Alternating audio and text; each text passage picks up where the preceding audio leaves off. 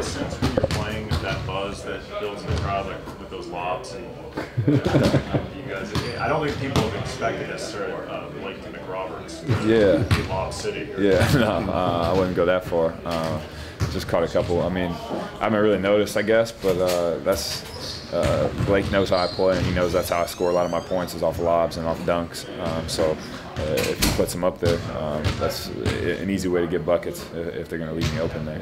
Since you've gotten here, have there been any nicknames that have really resonated with you? Any from fans or even teammates that, that you've liked at all? Uh, no, not really. I mean, I haven't thought about it. It's not something I think about. I think Right. everybody was saying the Mick Rambus name was uh, catching on, but uh, that's fine with me. They can call. I've been called much worse things than that. So uh, as long as they keep it uh, PG like that, I'll be all right.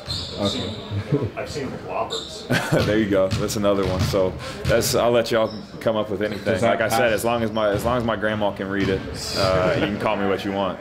He was saying to us, uh, he was having a good time. just saying, to, I was asking about, you know, if any fans or teammates have given him nicknames and all that. And he said, "I'll just leave it to us to come up with." Do you have a, any that come to mind for him? Uh, I don't know why, but you know, you remember that show called The White Shadow? with, with, with his high socks. Yeah, it just it just came to mind. I mean, he's like the White Shadow because you know you, you, you think he's Dr. J, but he doesn't look like Dr. J, and so he's kind of old school. And the only old school guy I really know that's kind of famous is the White Shadow. So with those high socks, so to me that's that's. Is it specifically White Shadow or is it Salami or Goldstein?